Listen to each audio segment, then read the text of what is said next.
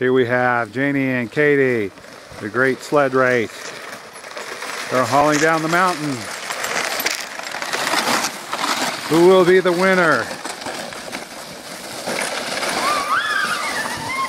Uh-oh, slide out.